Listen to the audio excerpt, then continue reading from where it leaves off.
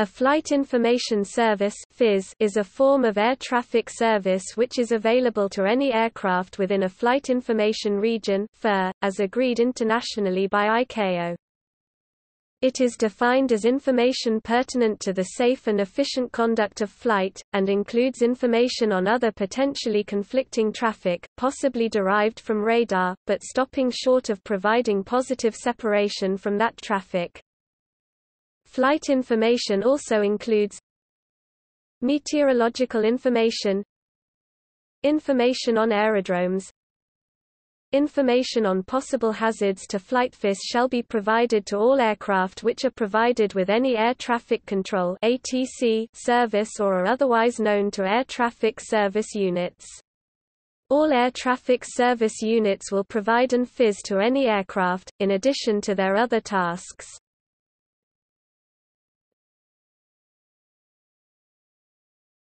Topic: Aerodrome Flight Information Service. In most countries, an Aerodrome Flight Information Service AFIS is provided at airfields where, despite not being busy enough for full air traffic control, the traffic is such that some form of service is necessary. It can be seen as a halfway house between an uncontrolled and controlled airfield. As a part of the FIS, the AFIS provides pilots of aircraft with details of other known traffic taking off, landing, and flying in the vicinity of the airfield.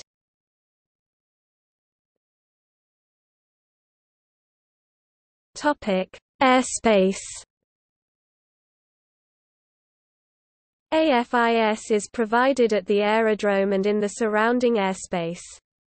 The airspace in the immediate vicinity of the aerodrome is internationally called TIZ, Traffic Information Zone some nations have other words and abbreviates e.g. the UK as seen below. The Traffic Information Zone is equivalent to the Controlled Aerodromes Center, control zone. Above the TIZ most AFIS aerodromes have a TIA, Traffic Information Area equivalent to the Controlled Aerodromes TMA. The TIZ and TIA are most commonly airspace classification G but with the additional regulation of mandatory two-way radio communication, commonly called G+. In some nations the airspace classification F is also used.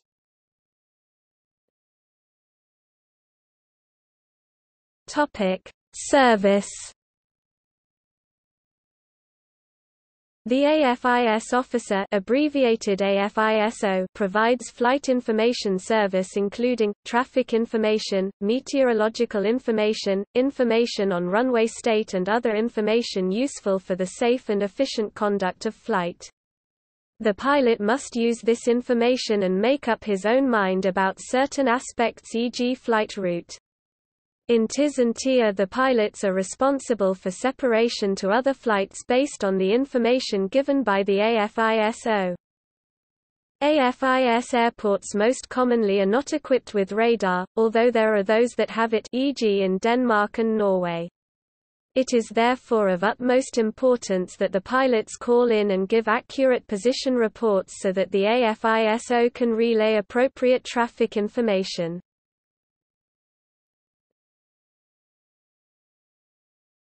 Topic: Traffic. How much traffic an aerodrome can have and still be an AFIS aerodrome is not internationally regulated and is subject to national regulation by the relevant CAA.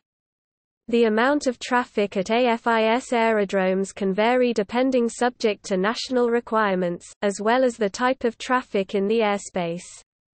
In some countries only VFR flights are allowed, but in many IFR, VFR, military and others are allowed. There are no international restrictions on what types of flight an AFIS aerodrome can service.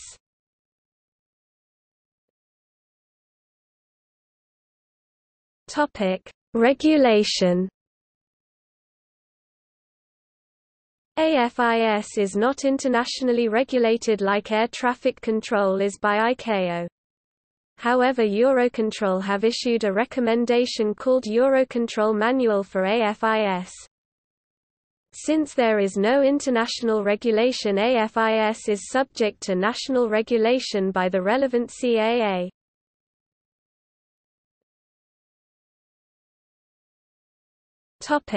AFIS around the world AFIS is provided at airfields and aerodromes all over the world.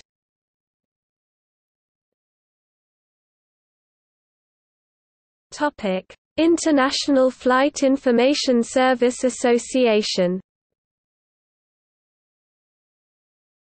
Formed in September 2015, IFISA is an umbrella organization for all national associations, unions, trade unions which represent AFIS or FIS operators. 28 nations are already involved, with the aim of working with ICAO and ASA to improve the FIS service worldwide.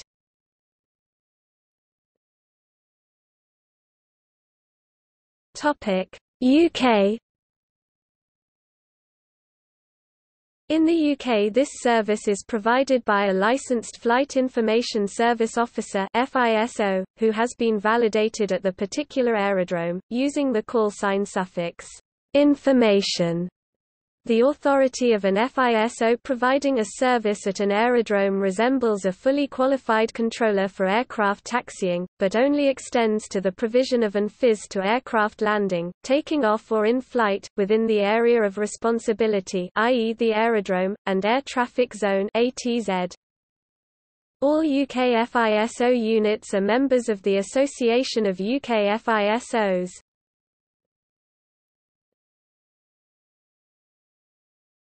Topic: Training. The training to become an AFISO is not internationally regulated and is subject to national CAA legislation. However, there is one international academy providing AFIS training approved in many European nations. The academy located in Sweden at Malmö Airport called EPN, Entry Point North. EPN provides AFIS training with and without radar as well as refresher training, continuation training and development training. The basic school training is approximately 13 weeks long and needs to be followed by national training and unit training.